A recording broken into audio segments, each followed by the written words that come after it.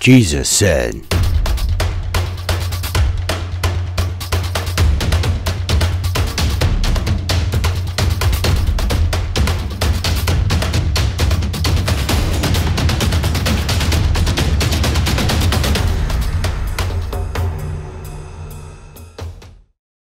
The book of Romans, chapter 1, verses 18 through 32. This is episode 2 in our series. You are at the door, and I am Michael Pearl. This is sponsored by NoGreaterJoyMinistries.org. You can find a lot of free material there at that website. We're teaching from the King James Bible the words of the Lord, verse by verse, word by word. The words of the Lord are pure words. As silver tried in the furnace of earth, purified seven times, thou shalt keep them, that is the words of the Lord, O Lord. Thou shalt preserve them, the words that are found in the Word of God, from this generation forever. So the words of God are preserved today. Every single word, not one is lost, not one has been dropped out. That's what we're teaching. In about 57 or 58 AD, the Apostle Paul wrote to the church in Rome from Corinth. At that time, in the latter part of Romans, we will read that there were already many converts in Caesar's household, his servants, his maids, his assistants. Many of them were worshiping the Lord Jesus Christ, a Jew crucified just 25, 26 years earlier in Jerusalem and raised from the dead. So Paul, not even having gone to, uh, gone to Rome, yet others, probably from Pentecost, had taken the gospel there and it was spreading rapidly. So Paul writes to them and he's going to talk about the human condition. This is theology in Romans. Now you'll find the same theology in the book of Galatians, the book of Ephesians, uh, book of 1st and 2nd Corinthians, in all of Paul's epistles, and even in Peter's epistles and John's epistles. So he's going to talk about the human condition. He's going to talk about universal sinfulness and universal condemnation. What happens to those who've never heard about Jesus Christ? Where we live here in Perry County, the Indians used to live, and I looked just yesterday at a box full of arrowheads that my son Gabriel has found over the years. Some of them beautiful uh, obsidian uh, arrowheads and uh, Buffalo River chert arrowheads, perfectly formed. And uh, you have to wonder when you come up on a ledge overlooking a creek and you sit down where Indians used to sit. And there they must have meditated about life, the things of life, about the Creator, about the Great Spirit, as they may have called Him. And so the question is how do, do, do they stand with God? How do they have to answer to God? What is their condition before Him? And then there's today in Papua New Guinea and Irian Jaya and the Amazon, there are uh, natives that have never heard about Jesus Christ. There's some living in tribes running around nearly naked, fighting, warring against each other, dying, weeping over their dead, fearful of death, and not understanding about love and forgiveness. What happens to them when they die without Jesus Christ? Why are we sinners? And why does the wrath of God, according to the Bible, fall upon all? That's what Paul's going to answer in this last part of chapter 1. We're going to find out that sin is the willful action of individuals. Now, the, you say, why would you say that? Everyone would know that. No. 95% of Christianity does not believe that sin is the willful action of individuals. Most of Christianity believes that sin comes from the nature of the individual and is an inevitable act of a sinful, corrupted nature. And what you're going to find Paul teaching is quite the opposite of, of, that that men sin because they will to sin, they make choices, the wrong choices, in the face of truth, even, feeling guilt while they do, and they bear the consequences of both their guilt and their choice. He's going to go into that in a good bit of detail. So there is a universal understanding found in all cultures, all religions, all tribal people, including the tribes in New York and San Francisco and LA, called gangs, that good people are acceptable to God and bad people are rejected. I don't care where you go, this is the common belief. You get a rank infidel and get him close to death, and he starts thinking about the afterlife. And if his mother dies, he will say to you, I know my mama's in heaven because she was a good woman. Now, she, she might have beat him mercilessly, she might have been a drug user, but his mama was a good woman. And good women go to heaven, only bad people go to hell. That's a universal understanding in every culture, always has been. The entrance of thy words giveth life, it giveth understanding unto the simple. Now, what you're going to see tonight is going to be so simple that the, a simple person, and a simple means sort of retarded, sort of low witted, even the simple can understand these things from the Word of God. So, as we open the Bible, what does the Bible say about how one knows God, obeys God, and goes to heaven? Starting in Psalm 24, he asks a question Who shall ascend into the hill of the Lord? Or who shall stand in his holy place? That's a good question. He that hath clean hands and a pure heart, who hath not lifted up his soul unto vanity, nor sworn deceitfully. Now he's answering the question who's going to go to heaven? A person that has clean hands and a pure heart, who's not lifted up his soul unto vanity, there's no vanity in him, nor sworn deceitfully. He shall receive blessings from the Lord and righteousness from the God of his salvation. You know, that's universally understood, and the Bible agrees with the heart and mind of people all around the world. Good people go to heaven, bad people go to hell. I've had people say to me, I've said to them, You're Christian, and they say to me, I believe if you're just sincere and do the best you can, that you'll go to heaven. Well, you know, I agree with them. If you're sincere and do the best you can, according to the Word of God, you'll go to heaven. All you have to do is just don't sin. Just don't willfully commit acts of sin. Don't hurt or harm anyone. Don't be cruel or bitter. Don't be unkind or rude. Don't steal. Just be good through and through. Clean hands and a pure heart. Then we read in Leviticus 18 Ye shall therefore keep my statutes and my judgments, which if a man do, he shall live in them. It says that three times in the Old Testament, and is quoted in the New.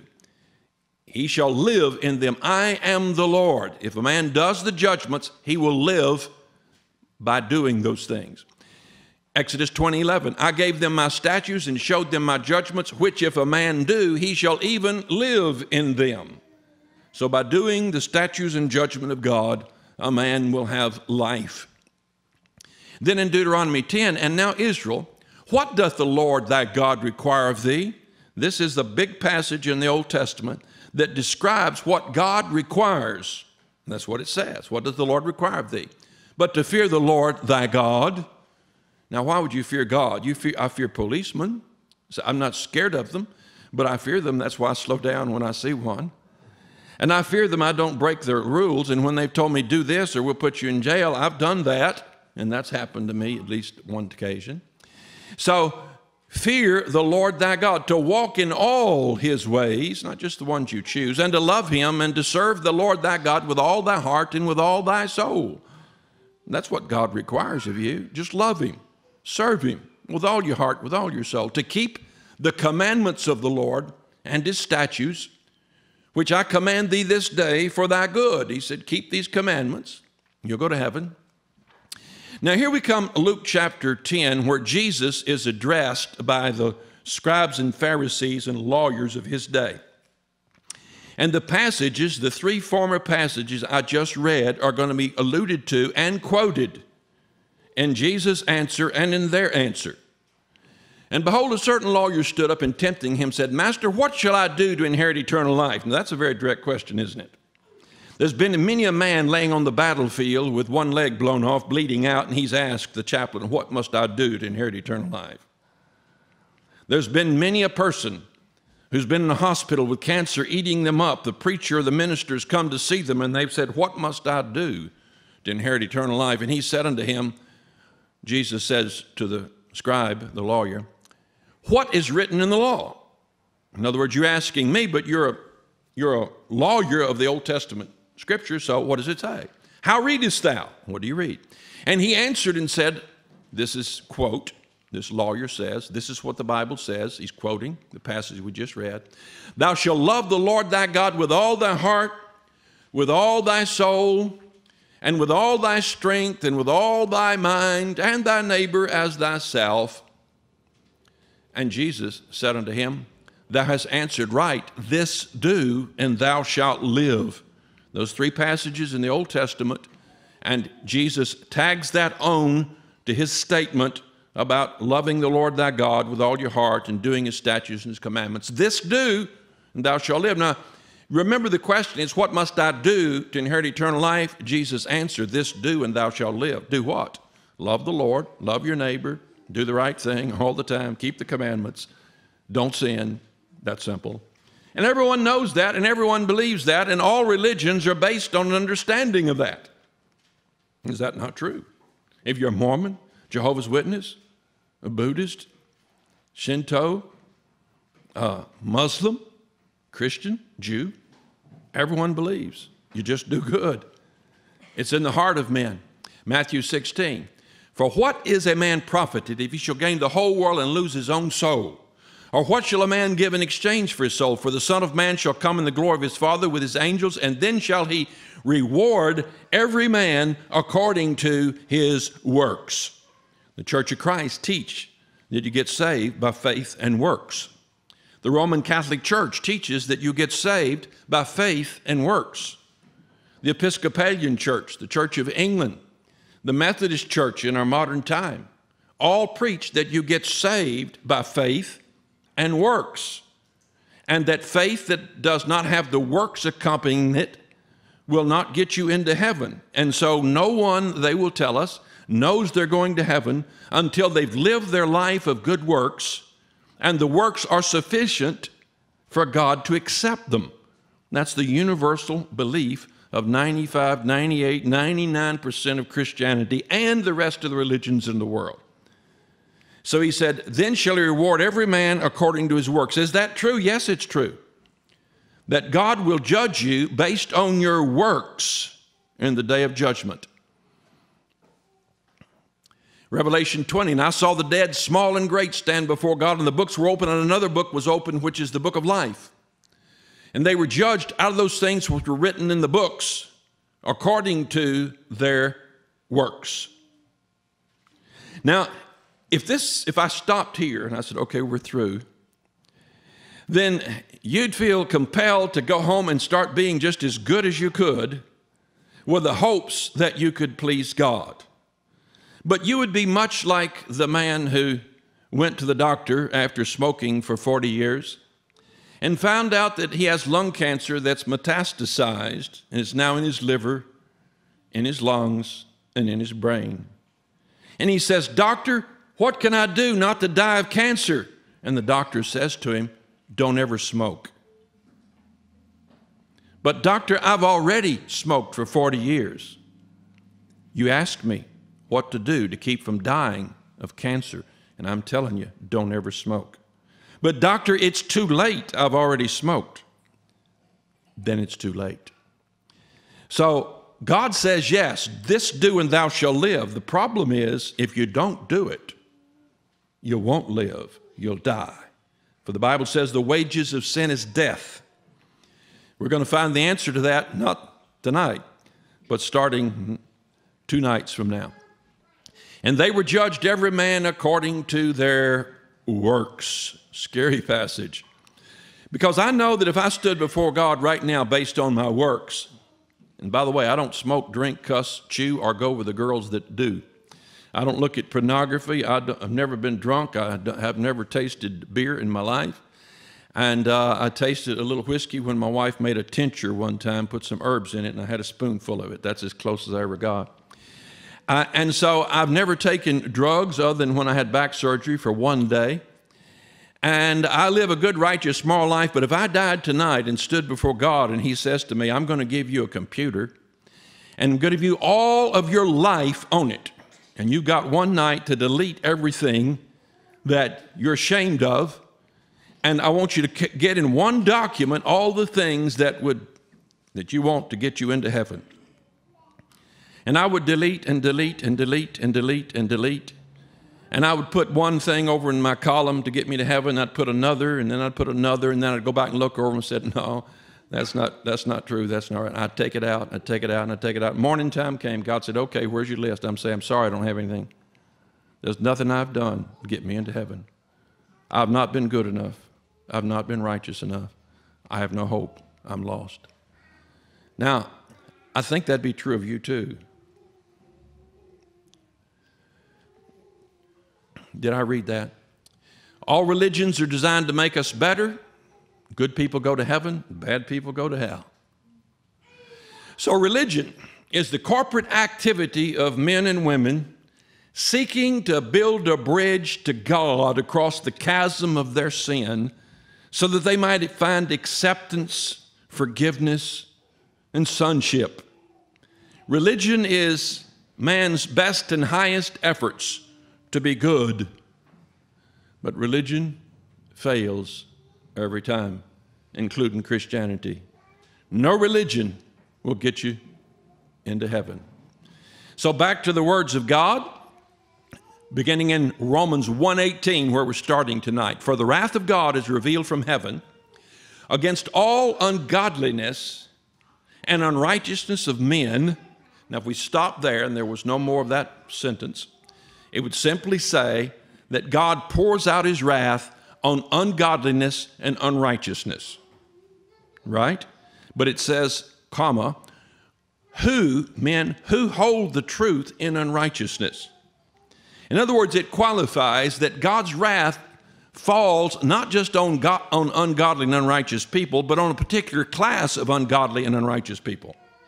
That class is those who hold truth he is telling us that God's wrath does not fall on people who do not hold truth. In other words, God doesn't damn anyone for their ignorance. God doesn't punish anyone who didn't know better.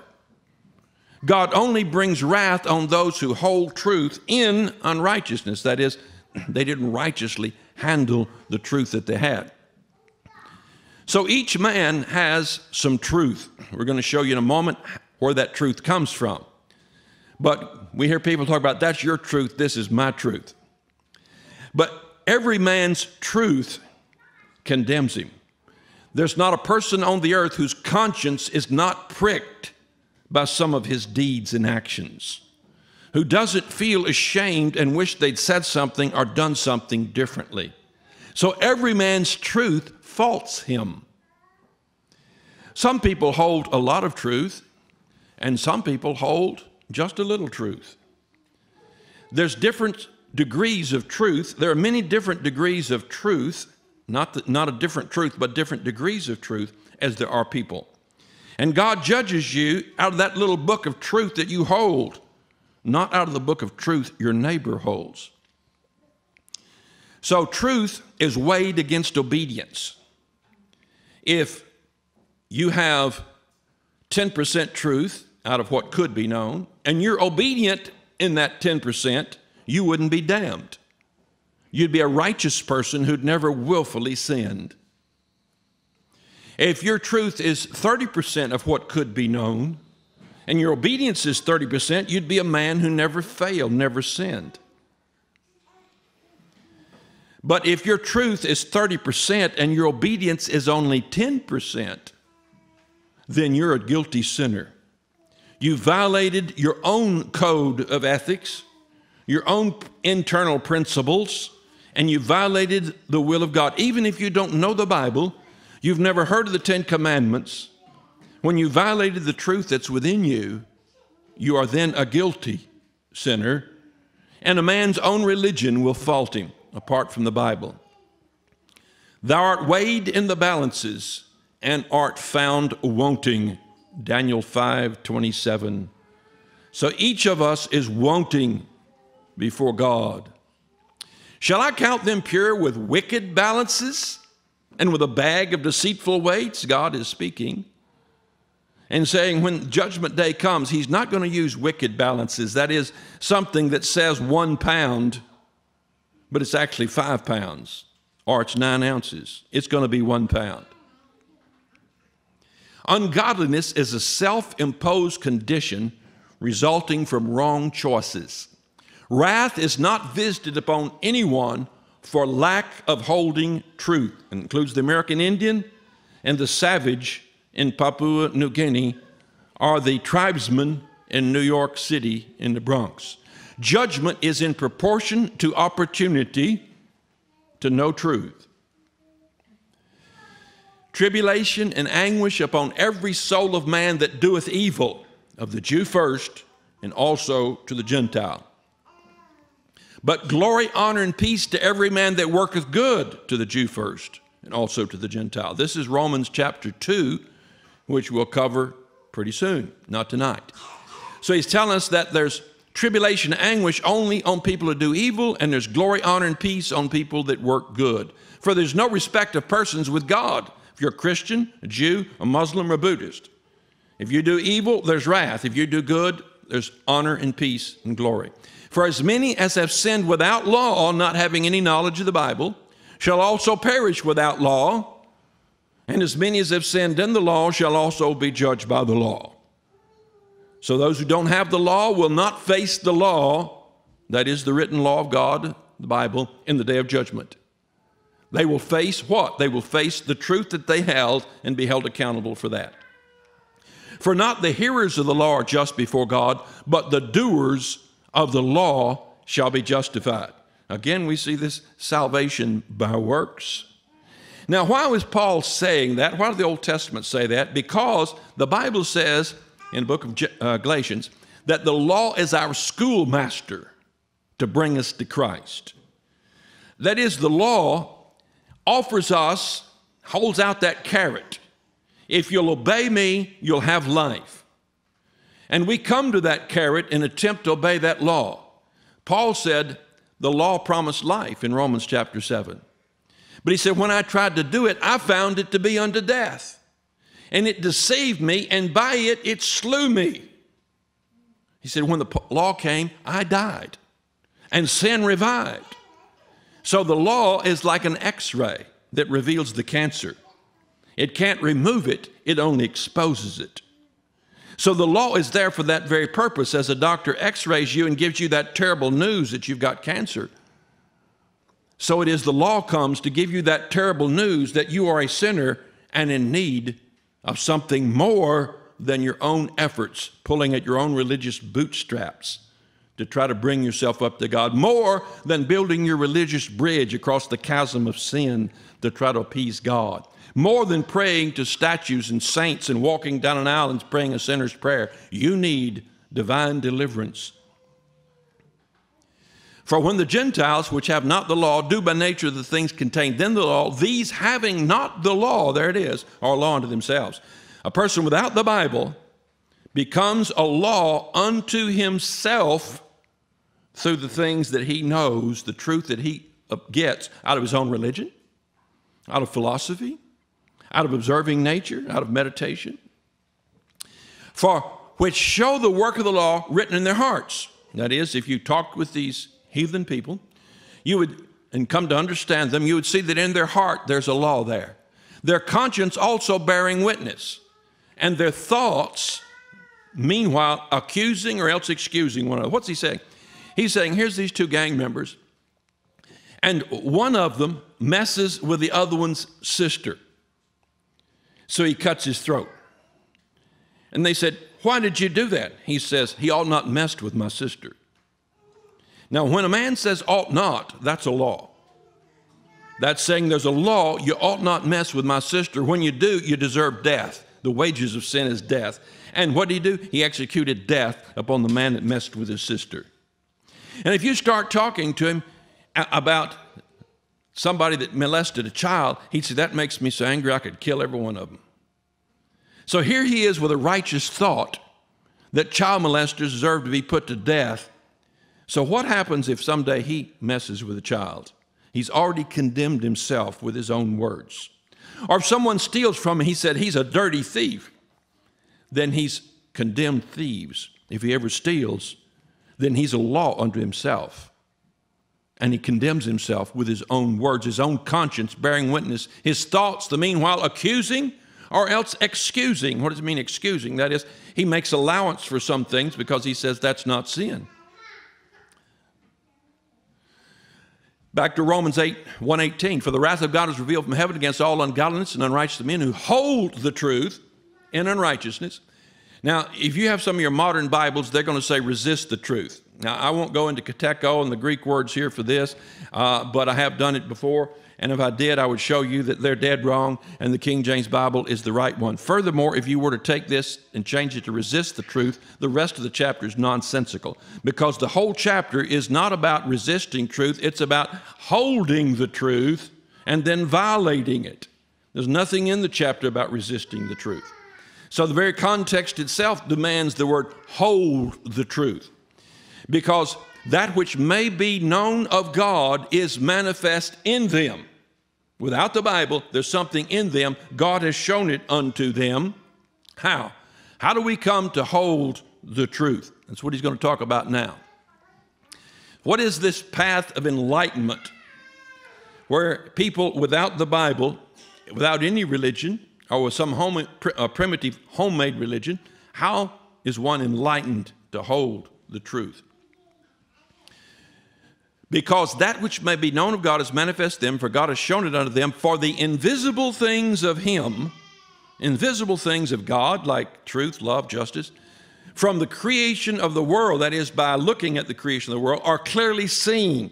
That is, men can observe creation, the stars, plants, animals, are understood by things that are made, even His eternal power and Godhead. So they are without excuse. No man can say, I didn't know, because all men know through nature that there's a creator. They can deny that there is, but they know there is. Their denial is an emotional denial. I've had many an atheist denying the existence of God, and then somewhere after about 45 minutes of conversation, they get angry and saying, if there was a God, why did he let all those children die in Bangladesh? If there's a God, why did he let my wife have a mongoloid child? If there's a God, why did he let my mother die at 52 years old? You see, it's not that he doesn't believe there's a God, he's just mad at him. Things are clearly seen, even his eternal power and Godhead. That is, they know about God the Father, God the Son, God the Holy Spirit through nature. Look at that. You look at something like a butterfly. Did you know that the monarch butterfly looked at closely, you can find every single letter in the English alphabet written on its wings. Now, how did God know of the English language and of our alphabet and place every single letter? You say, well, that they evolved from living in a library. That's probably what somebody would say. That's par for the course. For the invisible things of him from the creation of the world are clearly seen, being understood. So there's an understanding in that American native, that tribal Indian, being understood by things that are made, even his eternal power and Godhead, so they are without excuse. So, what is the path that men have taken, having seen God in nature, having known him that way? Because that when they knew God, they glorified him not as God. Here was a willful choice to sin against the light they had, the understanding that they possessed, to turn from it and refuse to glorify God. Then it says, neither were thankful. Unthankfulness is the second big sin listed in Paul's uh, category of sin. The first one is not to glorify God. You know what the worst sin you've ever done is? It's not glorifying God. That's insulting. When uh, we uh, went uh, to the Grand Tetons, uh, Shoshanna was sleeping. She was about 10 years old or 11 or something. She always slept anywhere we drove. I had never, I've seen pictures. I painted pictures of the Grand Tetons off other pictures. But I'd never stood at the base of them and looked up. It's the most extraordinary, awesome thing. It was like worship to stand at the bottom of the Teton Mountains and look up. Before us was this big wide valley and then a river, and the valley was filled with flowers. We got Sean out of the car and said, Look at this. And we just were overjoyed and thrilled. Oh, I'm sleepy. And she got back in the car. We got her out again. She kind of crumbled. We had to put her back. She never did see the Grand Teton Mountains. That she insulted the Grand Teton Mountains. To go to sleep in the presence of the Grand Teton Mountains is a total insult to those mountains. She should have gloried in the majesty of that. That's ha- what happens to a 10 year old, I guess, sometimes. Uh, she, have you seen them since then, Shauna? I remember yellow flowers, white. It just took me like two seconds to see them. Oh, you, two seconds was enough. That's still an insult. Neither were thankful, but became vain in their imaginations. If you don't just glorify God, just walk out and look at the sunset and just glorify God. Just say, Thank you, Jesus. If you don't look at a, a newborn baby or a puppy or a kitten or a little chicken following, a bunch of little chickens following her mama chicken around and her protecting them, and you don't just thank God and glorify God, or catch a bass in a stream and glorify God and thank Him. I've had many a fisherman who doesn't go to church and, and not saved say to me, My church is on the lake. You know, they're not just making an excuse, they are experiencing God on the lake. They say, That's my cathedral out there hunting, sitting in a deer stand. Now, they're, they're making an excuse, but what they're saying is true. They feel closer to God in nature than they do in the church house. Frankly, I do too, most of the time. And so they are revealing that there's something in their heart that points them to the divine, and they glorify Him somewhat out there. But they became vain in their imaginations. A vain imagination is like a stupid, ignorant imagination. It's like preposterous imagination, like, are you for real? Imagination. Now, today it's real easy for modern Americans to believe in little strange people from outer space and watch movies of it, all that, and, and yeah, there probably is. But when you tell them that there were angels saying, Glory to God in the highest, peace on earth, goodwill toward men over the birth of Jesus Christ, coming a virgin, that's nonsense. That's a fairy tale because their vain imaginations take them to all kinds of wondrous and strange and exotic things that they can believe in or hope that's true, but when it comes to biblical truth, they reject it. Vain imaginations is that we evolved from um, an ape or a slug. I saw a guy, I think maybe evolved from a slug. Here's the 21st century, ever onward and downward evolution. This is the true evolution that's taking place right now in the 21st century. Man is progressing ever onward and downward. That's what they're so proud of. And their foolish heart was darkened. Darkened. In other words, something happened. The light that was there, discovered through nature and intuitively, starts going out. As they get older, they have less light instead of more. There comes a point when the light doesn't seem to shine anymore. At that point, their conscience doesn't bother them like it used to. They molest children, they get drunk, they lie, they watch pornographic movies. And when their wife says something to them about it, they say, Well, it doesn't bother me. He's probably telling the truth. He's looking for a rush that he used to have and doesn't get anymore because his conscience is seared with a hot iron, as the Bible says, foolish heart darkened. And then, professing themselves to be wise, they became fools. I laugh at the college professors, the liberals in this country, the socialists, and the things that they say and do. I won't even go into it, it's too absurd. But their ignorance runs so deep, you say, but you've never, listen, I've got 18 years of schooling, so I've known a lot of college professors. Now, it does count, does it, when you spent two years in ninth grade, 18? Otherwise, it'd be 17.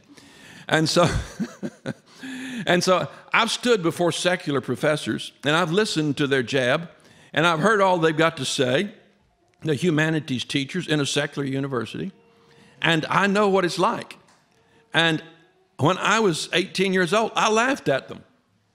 I thought people can't be this stupid, but they were. Their foolish heart was darkened. Professing themselves to be wise, they became fools.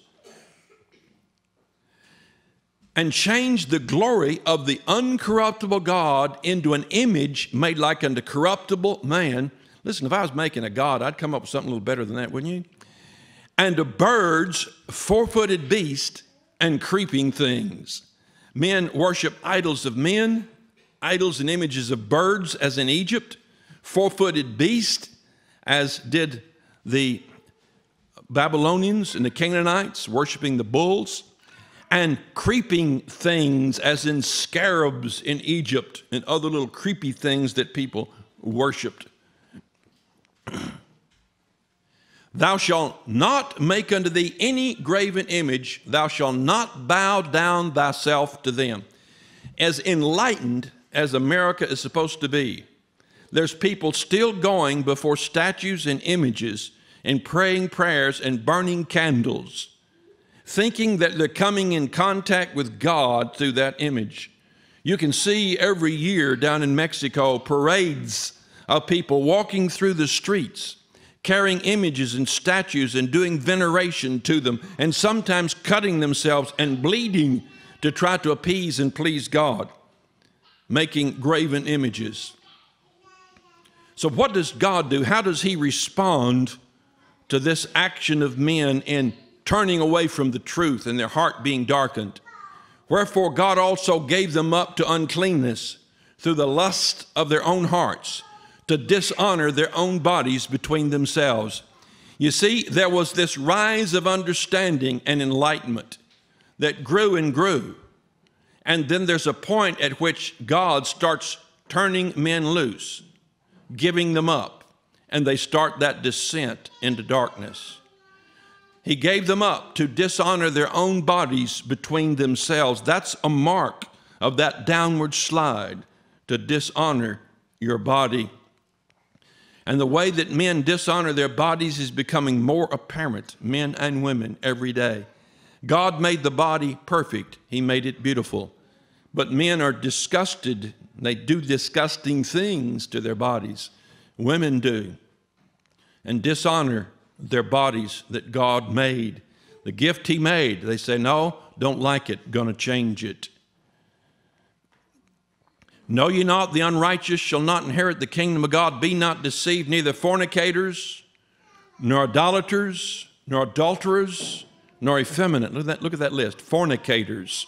That includes all kinds of sexual sin, usually points more to when they're not married.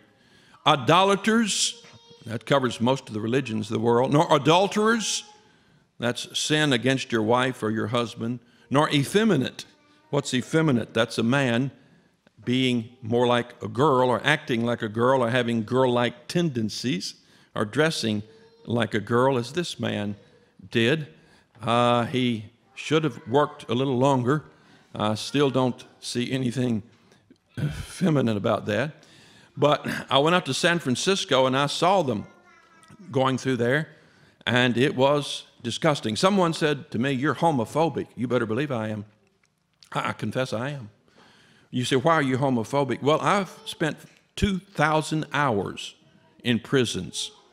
And I've gone in and I have hugged big guys and little guys and even queers. They come up and want to hug you, and just hug three others you got to, you know? And you know what I always did? I made sure they didn't scratch me. You say, why? Because I didn't want to get AIDS and die. I, am homophobic. And when I have when we go to rest stops and we get out with the grandkids, I'm homophobic. Because I've had homos in rest stops, I won't tell you, but they do vulgar and dirty things. And many of them, not all of them, but many of them are preying on kids. So I don't know which ones are and which ones aren't. If there's two, three of them standing around together at a urinal looking around, I'm homophobic. That's why I stay prepared. So I don't have to touch them to dispose of them. Now, I have won people to Christ that are homos. I've led them to Christ and they've become good Christian brothers and sisters. But until they repent, I'm homophobic. And, I, I, and most of America is, and anybody that isn't is a fool playing with a loaded gun that'll kill you real slow over a period of time, called AIDS and other diseases, or molest your children. And so, yes, I'm homophobic. And God says that effeminate won't inherit the kingdom of God. Now, there's a, a man dressed up like a woman, but you know, God made what He made, and I don't care what you do, you're not going to change it. You can dress it up on the outside, but it's still what it is. Nor thieves, nor covetous, nor drunkards, thieves and covetous, nor drunkards, nor revilers, nor extortioners shall inherit the kingdom of God. None in that list are going to inherit the kingdom of God. You see, you can go to hell just as quick being an extortioner, white collar crime, as you will being a homo. You can be a thief and just steal things at work, and you'll go to hell just as quick as a homo will. Sin is sin, and one sin may be worse down here on earth than another, but before God, it's equally damnable and blameworthy. Abusers of themselves with mankind. There's all kinds of ways people abuse each other with mankind. It's become a fad to practice group abuse and self abuse. Cutting makes me feel good, girl said. I've had to deal with that in the last couple days. And then there's drugs of all kinds that people shoot up that's abusing themselves with mankind. That's a girl six months after taking methamphetamines, and then four years later, you see them running around Lobelville here, skinny, sores all over their, all over them. Teeth rotting out from the meth. What has man done with the truth he knows? He said, Who changed the truth of God into a lie and worshiped and served the creature more than the creator, who's blessed forever. Men not only worship cows in India, but they also worship stars in America. So, what does God, how does God respond to men descending into these vile actions? For this cause, God gave them up, gave them up, turned them loose, quit working with them, stopped showing light to them, unto vile affections. There are affections. A lot of people love a lot of things. Some affections are vile. But I love her. I love him. That can be a vile love. God says there's vile affections. For even their women did change the natural use into that which is against nature. What's the natural use of the woman? The man has the counterpart, the natural use of the woman, but they changed it into that which is against nature. Women with women working that which is unseemly. I don't care what the Supreme Court says and the law of the land in America, they'll never silence me from teaching the words of God that says homosexuality, transvestitism, and sex change operations are sin, damnable, and vile. Without natural affection and vile affections. So don't justify it because you love someone. You know, someone said to me, Well, I was born homosexual. I know that's not true, but going along with it, since I couldn't argue that point, I said, Well, that's okay. There's no problem with that. Just don't ever have sexual contact with a man. Oh, but that's who I am. I said, Look, I was born loving girls, wanting them, desiring them. I remember nine years old, just falling in love with a girl that had little red hearts on her petticoat. And I even knew her name. I spoke to her one time. And she was beautiful, and I just would dream about having one of those for myself, not the petticoat, the girl.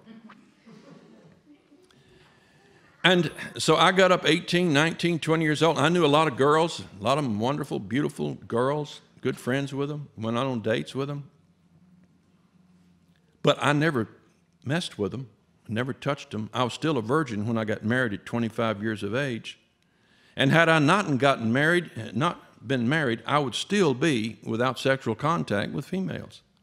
Why? Because it's a sin for a man to have sex with a woman that's not his wife. And I don't care if you're born, what you're born, just don't have any sexual contact and you'll be all right. You say, but I, I couldn't do that. Well, I did. I abstained. You can too. You see, it's not what you're born with that makes you a sinner, it's what you do with what you're born with that makes you a sinner. It's the act that you do.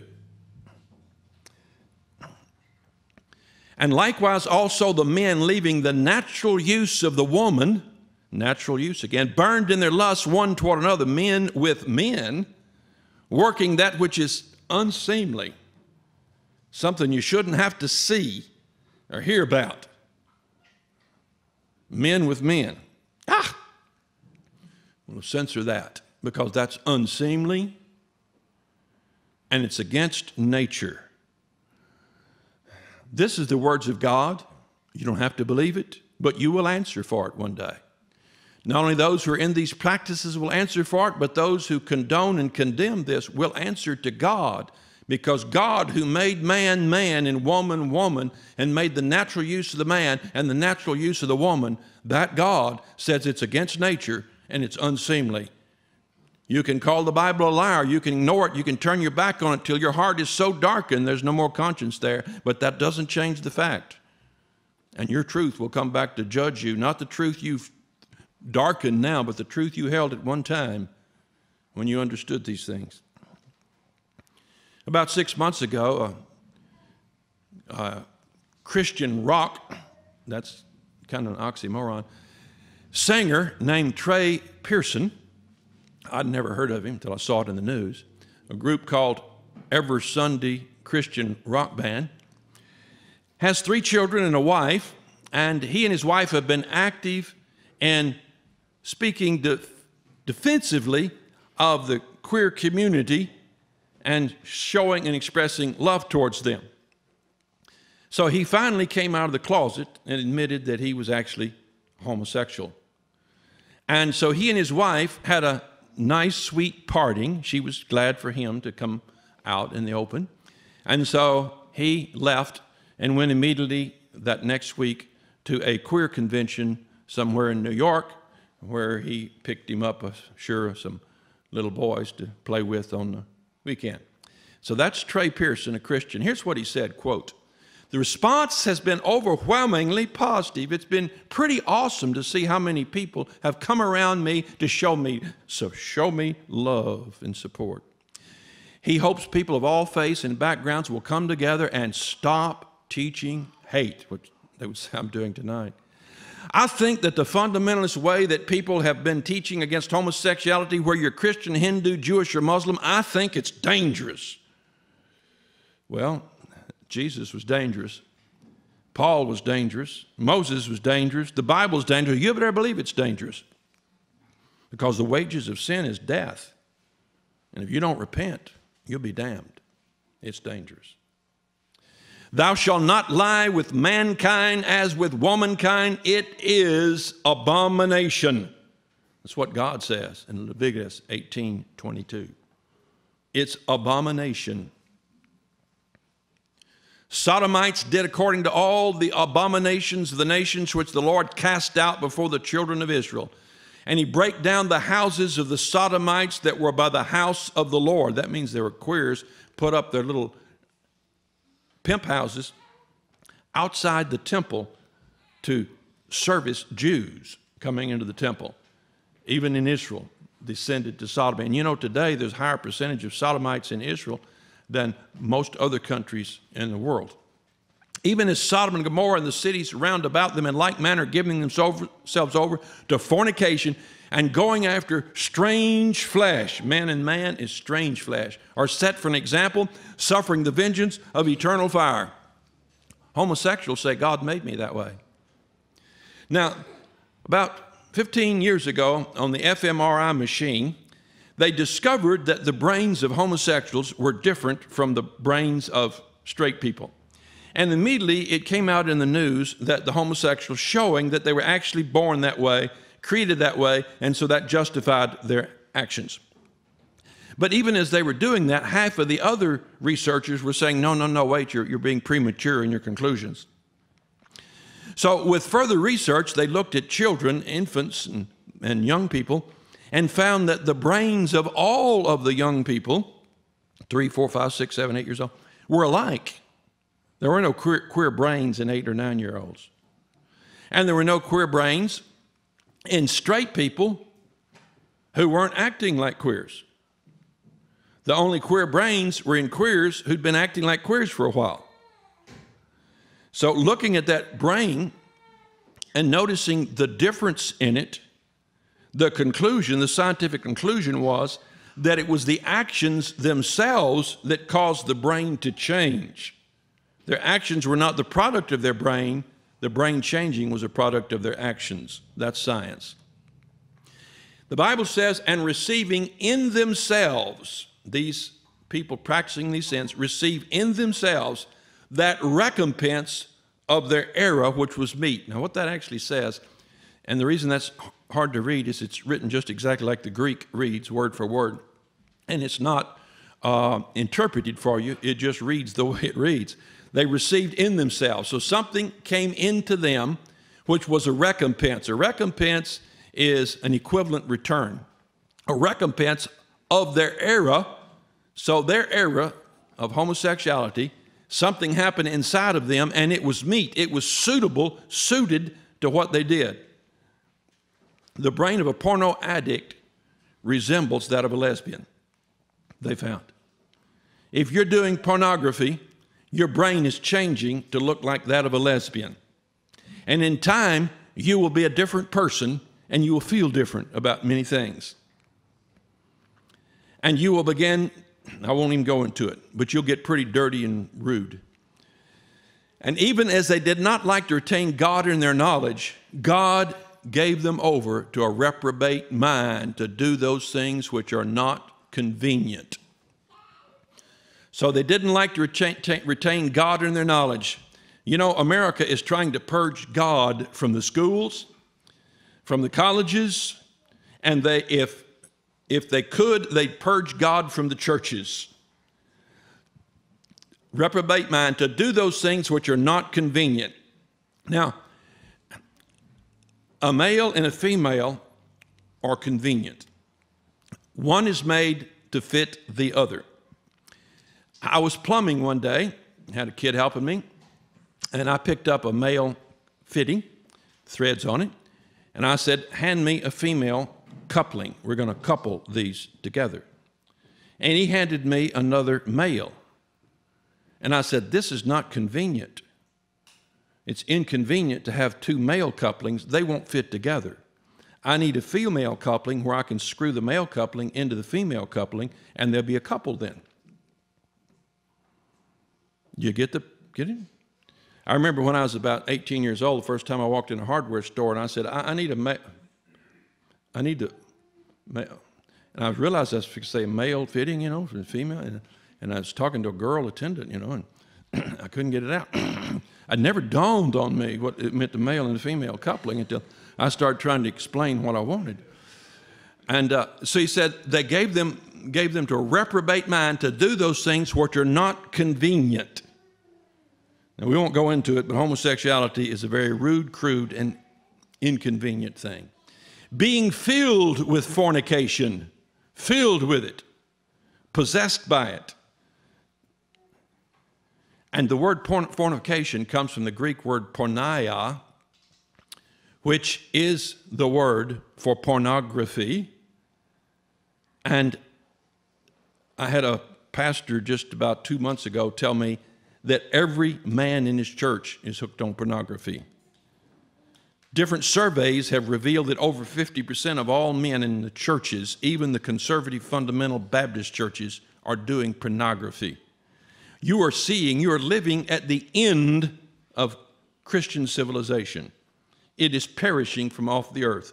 There, cannot be Christianity and pornography cohabiting in the same person.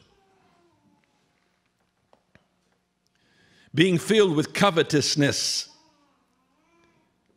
maliciousness, full of envy, murder, debate,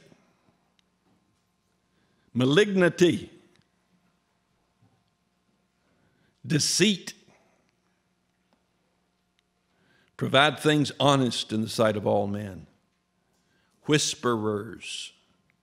What a, see, kids, when two or three of you get together and you make fun of another kid and you whisper about them, you're committing one of the sins that'll damn you.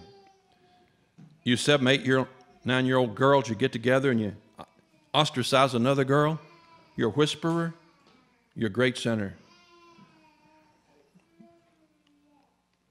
Backbiters, haters of God, despiteful, proud, boasters, inventors of evil things, disobedient to parents. That's a sin, kids, to be disobedient to parents. Inventors of evil things, you know, you adults know that the world invents evil things.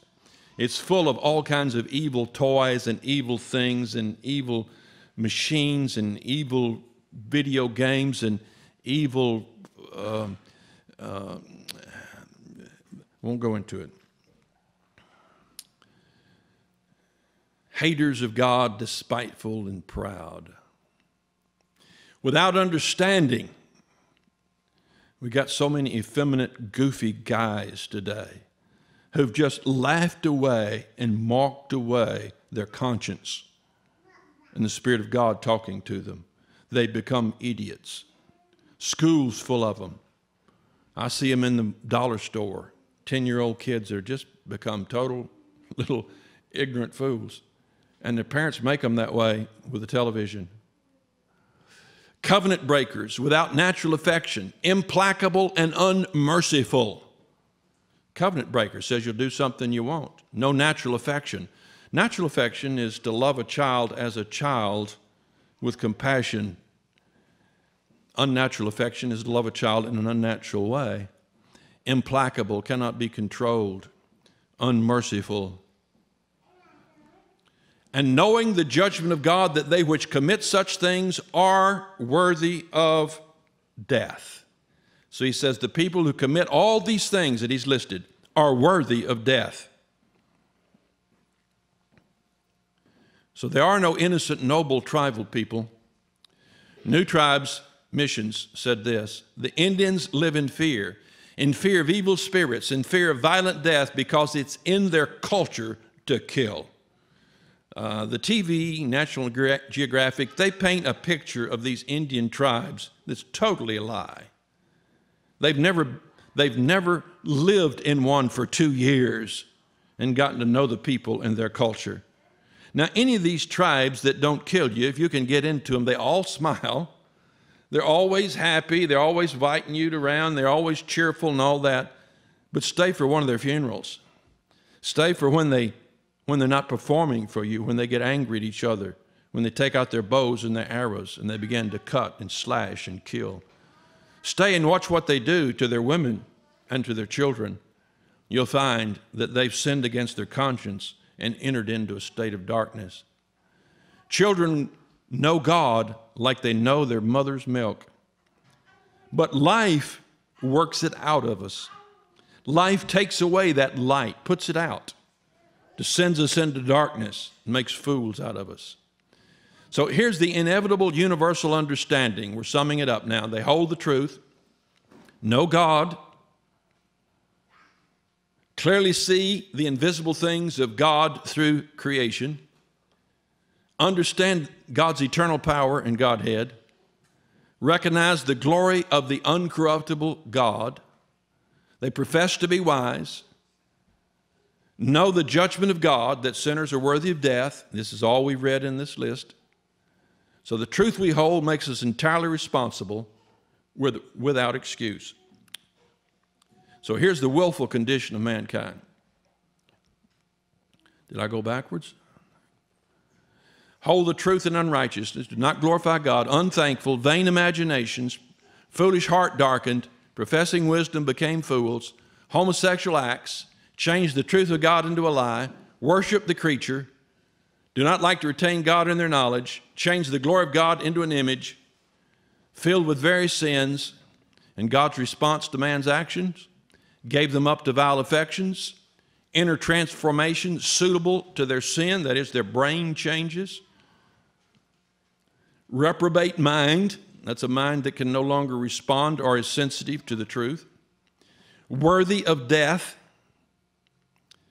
So here's the stairway to God. Hold the truth, know God, see the invisible, understand the Godhead, see His glory, profess wisdom, no judgment. The only thing is, men don't take that stairway. They take the one down to hell. They hold the truth in unrighteousness. Glorify Him not as God, not thankful, vain imaginations, foolish heart darkened, became fools, homosexuality, atheism, idolatry, fornication, wickedness, and a number of others. Finally, the verse, final verse in our chapter, who knowing the judgment of God that they which commit such things are worthy of death, not only do the same, not only are the people worthy of death who do what he's described, but have pleasure in them that do them. In other words, the people are worthy of death, not just the ones who are doing it, but the ones who take pleasure in other people doing it are also worthy of death. You say, I would never be a queer. Would you watch two lesbians making out and take pleasure in it? If the lesbians are worthy of death, so are you for taking pleasure in it. Would you watch two homosexuals in some Hollywood movie that shows how two guys just kind of fell in love and had this real sweet relationship? I've never seen a movie like that, but I've read reviews on them. And think, oh, isn't that sweet? Then you're worthy of death. Or acts of violence, acts of adultery, a movie with somebody going out on their wife because she was so mean. So they go slipping around, and you say, Well, it got to. She's such a mean woman. He, he needs a little love in his life. If you take pleasure in other people sinning, you share the same punishment as they do. So here is the whole chapter. For the wrath of God is revealed from heaven against, oh, excuse me, from verse 18 through 32, the whole chapter. We're just going to read it. For the wrath of God is revealed from heaven against all ungodliness and unrighteousness of men who hold the truth in unrighteousness. Because that which may be known of God is manifest in them, for God hath shown it unto them. For the invisible things of him from the creation of the world are clearly seen, being understood by things that are made, even his eternal power and Godhead, so that they are without excuse. Because that when they knew God, they glorified him not as God, neither were thankful but became vain in their imaginations, and their foolish heart was darkened. Professing themselves to be wise, they became fools, and changed the glory of the uncorruptible God into an image made like unto corruptible man, birds, four footed beasts, and creeping things. Wherefore God also gave them up to uncleanness through the lust of their own hearts, to dishonor their own bodies between themselves who changed the truth of God into a lie and worship and serve the creature more than the Creator who's blessed forever. For this cause God gave them up into vile affections, for even their women did change the natural use into that which is against nature. And likewise also the men, leaving the natural use of the woman, burned in their lust one toward another, men with men, working that which is unseemly, and receiving in themselves that recompense of their error which was meet and even as they did not like to retain God in their knowledge, God gave them over to a reprobate mind to do those things which are not convenient. Being filled with all unrighteousness, fornication, wickedness, covetousness, maliciousness, full of envy, murder, debate, deceit, malignity, whispers, backbiters, haters of God, despiteful, proud, boasters, inventors of evil things, disobedient to parents, without understanding, covenant breakers, without natural affection, implacable, unmerciful who knowing the judgment of God that they which commit such things are worthy of death, not only do the same, but have pleasure in them that do them. So we have gone through Romans chapter 1, and some of you seeing this would say, Well, I don't want to hear any more of that. that's, that's hard, awful stuff. Yes, it is, but keep in mind what you had tonight was an x ray showing you your tumor. And you may think, well, it's hopeless for me. And it is hopeless for you to go back home, do what you've been doing, and be cured. But I have a pill, one pill, that'll cure you and take away all your disease. It's called the gospel. And that gospel of Jesus Christ will cure you. I don't care how low you've sunk. I have seen lesbians and queers, homosexuals, I've seen them come to Christ, be made pure, and live righteous, holy lives the rest of their life. I've seen adulterers, fornicators, liars, and murderers, thieves, drunkards, meth heads, heroin, pot. I've seen all of them come to Jesus, be born again, and life changed, and it's a miracle. It's not something you've got to do, it's something God will do to you. But we don't have time to tell you about that tonight. We'll get into that some next time, okay? So stick with us, and you, you'll get delivered from what troubles your soul. All right, we'll stop there. Thanks for studying God's Word with us. You can follow us on Facebook, YouTube, Vimeo, and Twitter, or contact us by email at thedoor at nogreaterjoy.org. The Door is a production of No Greater Joy Ministries. For more of Mike's teachings, as well as hundreds of other great resources on child training, marriage, family, and faith, go to nogreaterjoy.org. While you're there, download Mike's free audio teaching on Romans and check out Mike's award winning graphic novel, Good and Evil, now available in over 48 languages and as an animated video. See you next time at The Door.